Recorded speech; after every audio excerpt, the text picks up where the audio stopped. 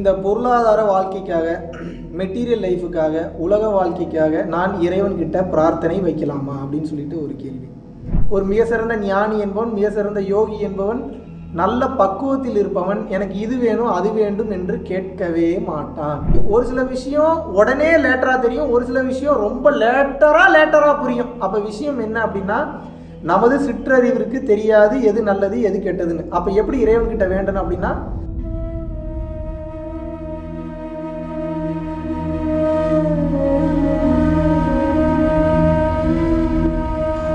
சரணம்.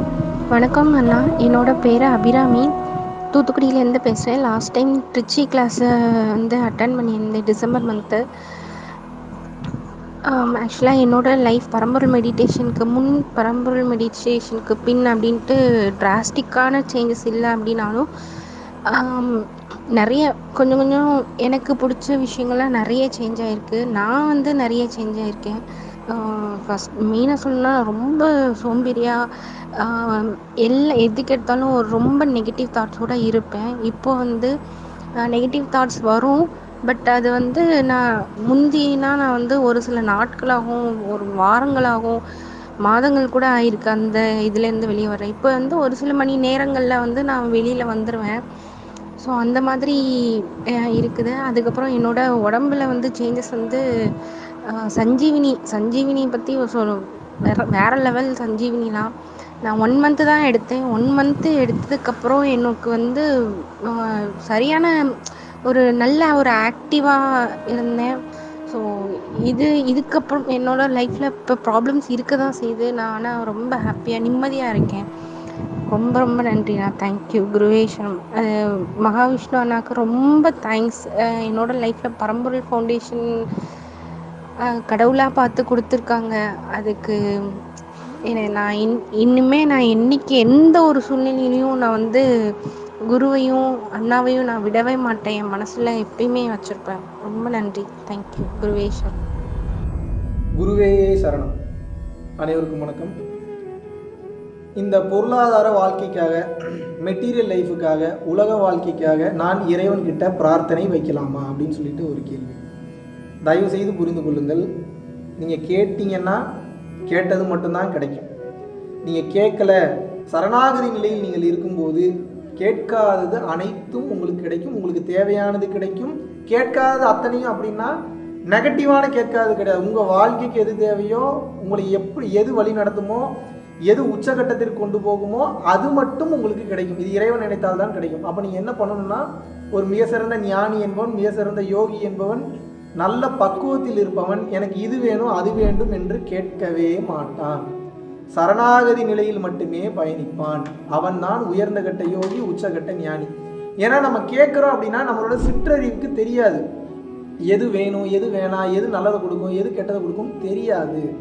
ஆசைகள் இஷ்டத்துக்கு கேட்கும். ஆனால் ஆசைப்பட்டதெல்லாம் நமக்கு கிடச்சிருச்சு அப்படின்னா அதனால் வரக்கூடிய விளைவுகள் மிகவும் மோசமாக இருக்கும். இதை எப்படி சொல்லி புரிய வைக்கலாம்னா சின்ன வயசில் நீங்கள் ஒரு சில விஷயங்களுக்கு ஆசைப்பட்டிருப்பீங்க. ஒரு எக்ஸாம்பிளுக்கு சொல்கிற ஒரு பொண்ணை கல்யாணம் பண்ணணும்னு ஆசைப்பட்டிருக்கீங்கன்னு வச்சுக்கோங்க. அந்த பொண்ணு உங்களுக்கு ஓகே சொல்லியிருக்காது. அதுக்கப்புறம் நீங்கள் வேறு வழி இல்லாமல் வேற ஒரு பொண்ணை கல்யாணம் பண்ணியிருப்பீங்க. ஆனால் லேட்டராக தான் உங்களுக்கு தெரியும். நல்ல வேளை அந்த பொண்ணை நான் கல்யாணம் பண்ணல.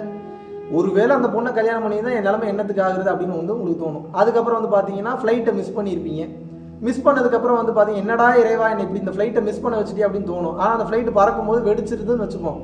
நல்ல வேலை அந்த ஃப்ளைட்டில் போகணும்னு உங்களுக்கு லேட்டராக தான் தெரியும். ஒரு சில விஷயம் உடனே லேட்டராக தெரியும். ஒரு சில விஷயம் ரொம்ப லேட்டராக லேட்டராக புரியும். அப்போ விஷயம் என்ன அப்படின்னா நமது சிற்றறிவிற்கு தெரியாது எது நல்லது எது கெட்டதுன்னு. அப்போ எப்படி இறைவன்கிட்ட வேண்டணும் அப்படின்னா வடிவல் ஜோக் மாதிரி தான். தங்களுக்கு தெரியாத சட்டம் எதுவும் இல்லை ஒரு தாங்களே சிறந்த சட்டம் எதுவோ அதை சிறந்த சட்டத்தை தேர்வு செய்து எனக்கு மிக சிறந்த எதுவோ நீங்களே எங்களுக்கு கொடுத்துருங்கன்னு வேண்டுவதற்கு பேர் தான் சரண்டர் ஸ்டேட் சரணாகதி உச்சகட்ட ஞான நிலை.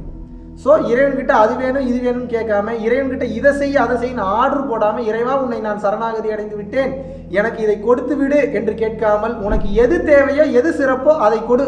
இல்லை என்றால் என்னை உன் நீ எனக்கு எதுவுமே கொடுக்கவில்லை என்றாலும் பரவாயில்லை. உனது அருள் இருந்தால் மட்டும் போதும். என்னுடனே நீ பயணித்து கொண்டு வா.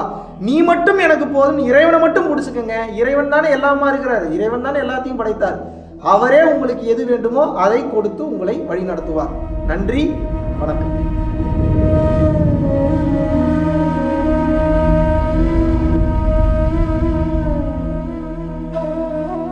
பல லட்சம் மக்களுக்கு உணவளித்து அவர்களுடைய பசிப்பினியை ஆற்றுவதற்குண்டான ஒரு மாபெரும் வாய்ப்பை அந்த பிரபஞ்சமும் மக்களாகி நீங்களும் இன்றைக்கு வந்து நமது அறக்கட்டளைக்கும் அறக்கட்டளையினுடைய நிர்வாகிகளுக்கும் மற்றும் தன்னார்வ தொண்டர்களுக்கும் நீங்கள் வழங்கியிருக்கின்றீர்கள். அதன் மூலியமாக பல உயிர்களுக்கு வந்து அன்னதானம் பண்ணிட்டு இருந்திருக்கோம். பல உயிர்களுக்கு வந்து பார்த்தீங்கன்னா வஸ்திர தானம் துணிமணி எடுத்து கொடுத்துருந்துருக்கோம். பல உயிர்களுக்கு கல்வித்தொகை கட்ட முடியாத பல நபர்களுக்கு வந்து பார்த்தீங்கன்னா கல்வித்தொகை கட்டி வச்சுருக்கோம். அது போக ஸ்போர்ட்ஸ் கோட்டாவில் நல்ல லெவலில் ரீச் ஆனவங்களுக்கு ஸ்போர்ட்ஸ் கோட்டாவில் நல்ல லெவலில் வரணும்னு சொல்லி அவங்களுக்கு ஸ்பான்சர்ஷிப் பண்ணி அடுத்தடுத்த கட்டத்துக்கு வந்து அமுச்சு வச்சுருந்துருக்கோம். பரம்பொருள் ஃபவுண்டேஷனுக்கு நன்கொடையாக நீங்கள் அனுப்பும்போது உங்களால் எவ்வளோ முடியுமோ அவ்வளோ இவ்வளோ தான் பண்ணணும் அப்படின்ற நிர்பந்தம் கிடையாது. உங்களால் எவ்வளோ முடியுமோ அவளை நீங்கள் அனுப்பும்போது இன்னும் பல உயிர்கள் வாழ்வில் மிக சிறந்த நிலையை அடையும் அந்த புண்ணியம் நிச்சயமாக உங்களுக்கு வந்து சேரும்.